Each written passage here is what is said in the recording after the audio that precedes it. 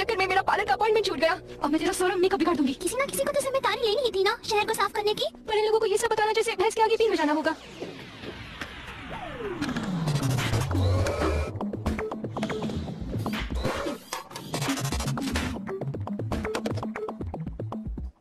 पर कोशिश करना हमारा फ़र्ज़ है।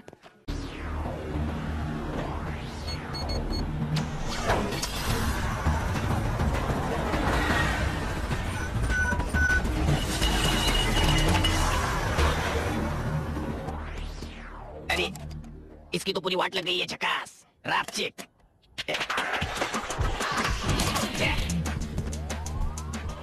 चमकी भैया उसे वहाँ क्यों रखा? देख छोटे रोशनी का संतुलन बनाने के लिए कमाल का तरीका है जो तेरे दिमाग में नहीं आएगा।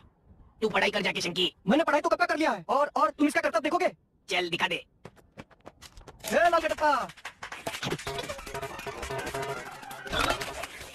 ये तो हमने नहीं सिखाया था पता नहीं। तू क्या सिखाएगा? वो तुझे सिखा देगा समझा? हाँ बात में तो दम है। बात में दमे है तो तुझे किस बात का दम है? अरे कटप्पा। डरो मत छोटा सा पाइप भी तो है हाँ। हाँ, सही। अरे नहीं। अरे कम से कम उसके लिए गले का पट्टा खरीद लेता।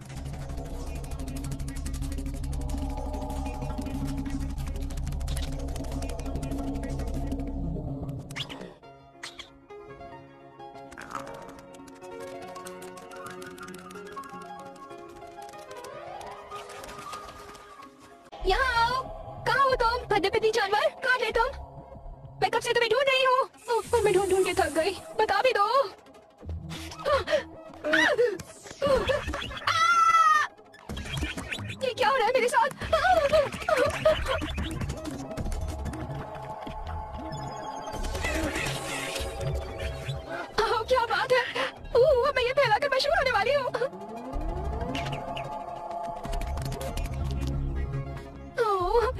प्यार में डूबे हुए हैं।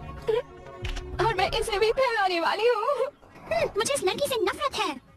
ये शहर के गंदे कीड़े मकोड़े मेरे शहर को गंदा कर रहे हैं और ये कौन है? आप सब कैसे हैं? आज मैं आपको दिखाऊँगी कि ये शहर कितना गंदा है। शायद आपको लगे कि आप स्वर्ग में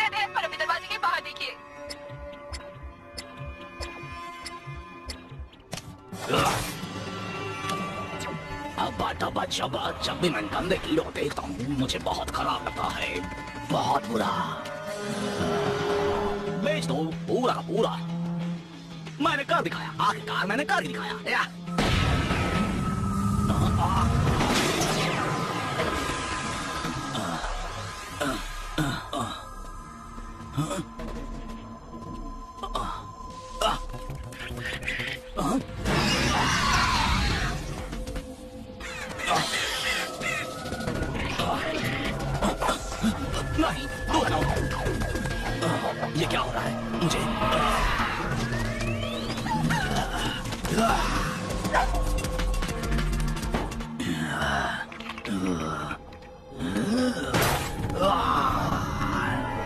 ये मुझसे बर्दाश्त नहीं होता।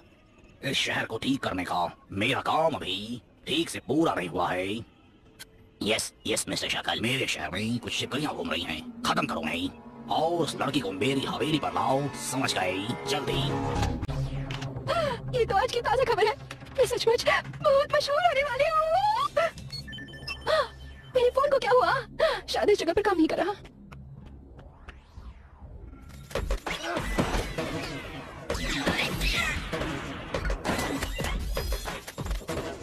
हाँ?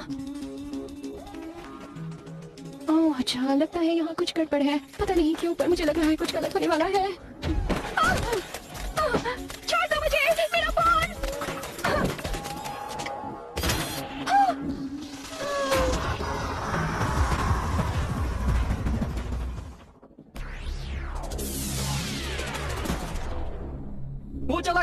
लाल का डब्बा। ये सब मेरी गलती है। उसे वो लोग ले गए मेरा कटप्पा शायद वो वापस घर लौट गया हो। या फिर शायद उसके अंदर हो। चलो पता लगाते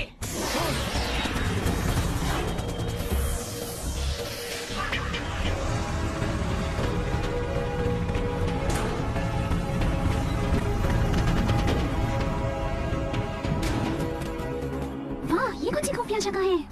तो बाबा आदम के जमाने की लगती है। सही कहा। सारे कैदियों को यहीं रखते थे। भोजपुरी सिनेमा में देखा था मैंने। कोई बाहर नहीं निकल पाया। जो आया यहाँ समझो वो गया यहाँ। समझे ना?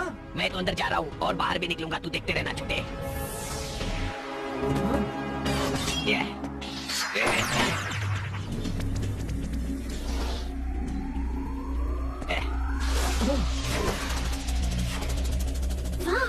किसी ने इस खंडर को महल में बदल दिया है। हाँ चंकी कुछ तो गड़बड़ है। तेरे दिमाग में गड़बड़ है।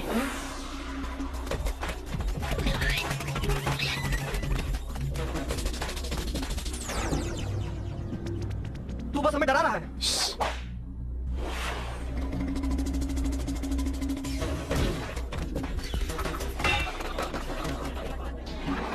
चुप रहूँगा तो बोलूँगा कब? चुप रहो चप्पड़ कंजू। जरा शांत रहो। से पता मेरे मच्छी वाले बिज़नेस के बारे में? पैसे क्या लेना चाहोगे? पापलेट झींगा बोमिल? माफ़ करना मैं मछली नहीं अंडे खाता हूँ। देखो ऐसा मत कहो। मेरा बिज़नेस बहुत ठंडा चल रहा है। अगली बार अंडे खाना वरना डंडे मारूँगा मैंने कहा ना मैं अंडे वाली नहीं मच्छी वाली हूँ। देखो मैं तुम्हें छोड़ूँगी नहीं। तुम जाओ भी हो जो भी हो मैं तुम्हारी भुर्जी बना दूँगी। प्याज और टमाटर डालना मत बोलना भुर्जी मुझे पसंद है। तुमने मेरा मज़ाक उड़ाया। जाओ वरना मैं तुम्हारा मच्छी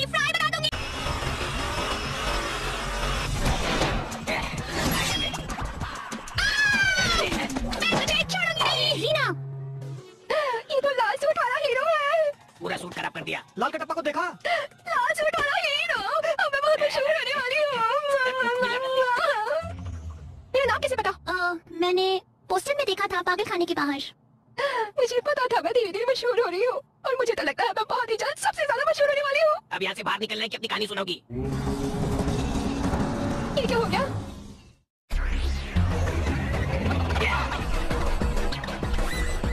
ओह, ये रोबोट्स तो मैंने मेले में भी देखे थे। मिलवा दिलों का आता है एक लाफा देके चला जाता है।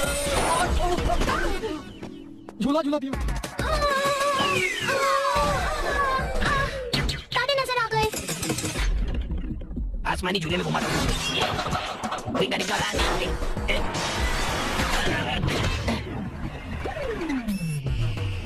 दोस्तों तुम भागो ना भागो पर मैं यहाँ से भागने वाली हूँ। पतली गली से गली तो बहुत ही लंबी है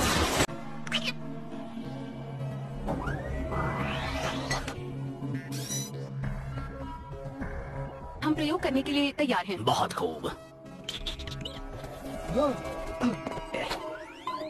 लगता है कोई कटप्पा को कवाली सुना रहा है। कवाली मुझे पसंद है। लगता है तेरी गाँव वाली कवाली गाएगी।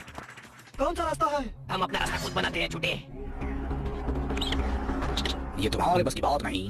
निकलो हम्म, अब मुझे ही पता लगाने दो कि मैंने इस प्रयोग पे पैसे लगा के अपने पैर पे कुल्हाड़ी तो नहीं मार ली।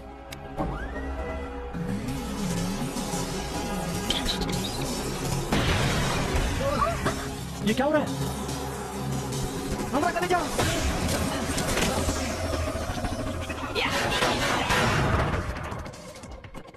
हाँ, अरे हमरा मुन्ना चॉकलेट खिलाऊँगा। तुम लोगों ने इसे कबाड़ खाना बना दिया हो। आ गया कबाड़ी वाला। शाकाल वैसे भी ये सारा सामान तुम्हारा नहीं किराए का था। बचपन में ये जानवर मेरी टॉफी चुराते थे। अब मैं इनकी टॉफी बना के इनसे बदला लूँगा। और तुम लोगों को एक भी नहीं दूँगा समझे? बंकी बंकी।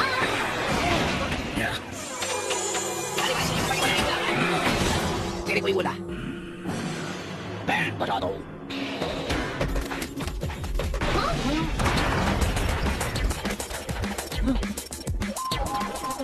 तुम यही रुकना बचवा हम अभी आए हैं।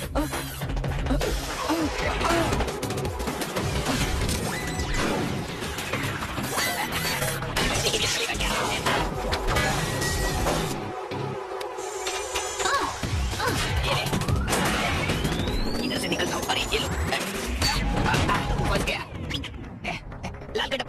डब्बा वो ले गया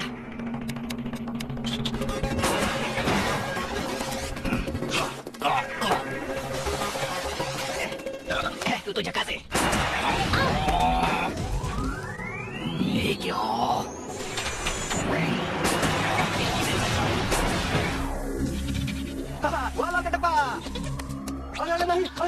जाओ। ये शंकी है या मंकी? इतना क्यों उछलता है? कुछ ज़्यादा ही उछलता है किसी दिन पड़ेगी इसको।